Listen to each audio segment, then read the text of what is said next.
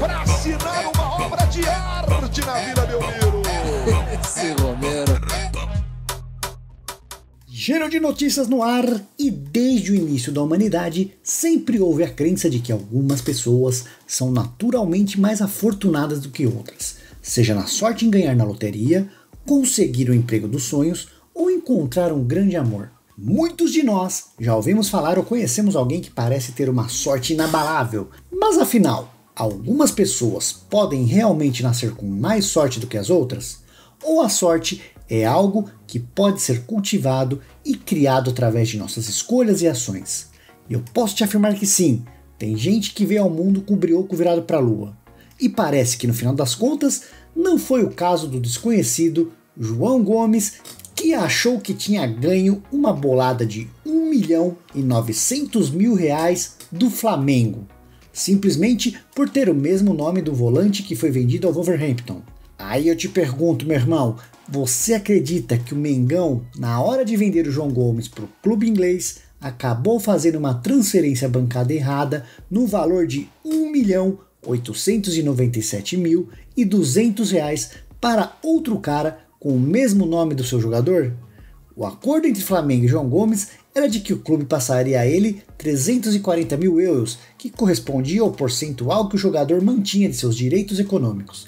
Só que a transferência acabou indo para o João errado, que não tem nada a ver com o negócio. João Vitor Gomes da Silva estava em sua casa, de boer, e quase morreu do coração quando olhou a tela do seu celular e viu aquela notificação bater na tela. Você recebeu um Pix de 1.897.200 reais de Mengão Mafadão. Imagina a felicidade do caboclo, mas a alegria de pobre dura pouco, infelizmente. O clube só percebeu o erro quatro dias depois, no dia 27 de fevereiro, quando finalmente identificaram que a grana tinha caído na conta errada.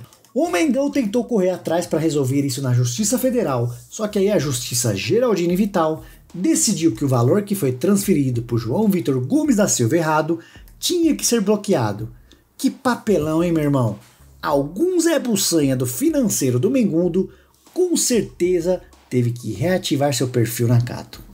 Ah, e neste sábado, mais conhecido como ontem, Mbappé, o atacante francês, ultrapassou o uruguaio Cavani e agora detém o recorde de mais gols marcados pelo time do PSG. Agora, no top 5 maiores goleadores da história do PSG da massa, Mbappé é o primeiro com 201 gols. Uruguaio Cavani vem em segundo com 200 gols. E em terceiro, Ibrahimovic com 156 gols. O brasileiro Neymar é o quarto com 118 gols e fechando o top 5 vem o português Pauleta com 109 gols. E a celebração pela conquista do recorde foi muito intensa, com o clube, torcedores e o próprio jogador festejando bastante. O atacante francês de 24 anos, que agora é o maior artilheiro da história do time parisiense, foi ovacionado pelos fãs no estádio Parc des Princes. Um troféu personalizado para o camisa 7 foi entregue e ele deu uma volta olímpica para comemorar seu feito. Mbappé disse que foi um momento muito especial e que ficará marcado na história e pensa que cada jogador de futebol joga para deixar seu nome marcado, para não ser esquecido, e com isso ele será lembrado ali no PSG. Antes dos jogos do final de semana, Jonathan David do Lille e Balogun do Reims eram os segundos colocados na artilharia da atual edição do Campeonato Francês, o Francesão, com 15 gols cada. No entanto, Mbappé, que era o líder, ainda aumentou sua liderança marcou esse gol contra o Nantes pela 26ª rodada, totalizando 18 gols na temporada e se isolando ainda mais na artilharia da competição.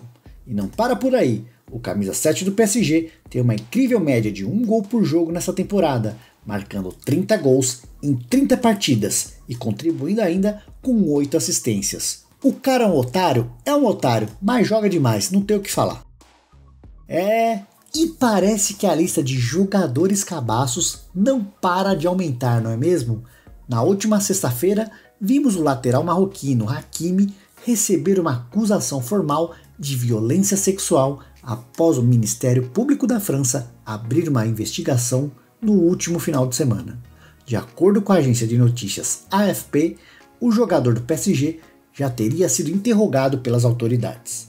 O caso teve início no último sábado, quando uma mulher de 23 anos alegou que Hakimi a forçou a ter diversos contatos sexuais com ele. A suposta vítima afirma que o jogador marroquino tentou uma penetração manual, apesar dos constantes pedidos para que ele parasse. O jornal francês Le Parisien informou que a mulher apresentou queixa à polícia, mas não solicitou a abertura de uma investigação formal. Mesmo assim, o Ministério Público optou por abrir uma investigação oficial. A advogada de Hakimi, Fanny Colan, afirmou que o jogador é inocente, aspas, as acusações são falsas, Hakimi está tranquilo e à disposição da justiça. O clube Paris Saint-Germain apoia Hakimi, que negou com firmeza as acusações que recebeu. Fecha aspas. Pré-requisito para fazer merda no futebol pelo jeito aí ultimamente é ser lateral do PSG.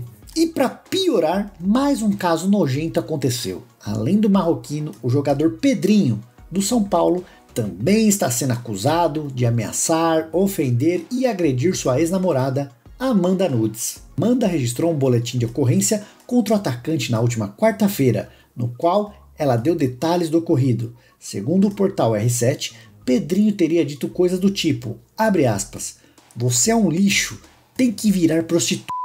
Você é pobre, sua família não presta. Se você explanar para alguém, eu acabo com a sua vida. E mais, cadê seu celular? Não tá com você? Que bom, pois assim vou dar um sumiço, te matar e ninguém vai ficar sabendo. Fecha aspas. Pesado, hein, meu irmão? Você é louco. Amanda ainda afirmou ter sofrido empurrões e socos do jogador de 23 anos.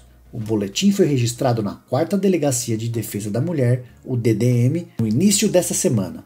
Após a repercussão do caso, Peidinho decidiu pedir afastamento temporário do clube na sexta-feira para colaborar com as autoridades no esclarecimento das acusações registradas contra ele. Abre aspas para a postagem de Pedrinho em seu story no Instagram. Em respeito ao São Paulo Futebol Clube e aos milhões de torcedores e torcedoras, gostaria de informar que na tarde dessa sexta-feira, alinhado com a diretoria do clube, pedi o meu afastamento temporário das atividades. Tomei essa decisão para priorizar e colaborar de forma exclusiva com o trabalho das autoridades para esclarecer o mais rápido possível todas as acusações registradas ao meu respeito, para que em breve possa retomar a minha carreira. Aproveito para agradecer a minha família e a minha empresária, Roberta, que estão me apoiando de maneira incondicional. É, Peidinho, se ela tivesse sprint de zap aí, meu irmão, é melhor você esquecer sua carreira do futebol, meu. Tá, tá triste. E pelas minhas contas aqui, mais três anos não teremos jogadores suficientes para completar dois times de futebol pelo mundo. É uma tristeza o que vem acontecendo com esses jogadores de QI negativo pelo mundo, safados, bandidos, tem que comer cadeia. Não tenho dó não, meu irmão. E esse foi o Giro de Domingo. Espero que vocês fiquem bem, aproveitem o finalzinho do final de semana e até amanhã estaremos aqui de novo. Fui!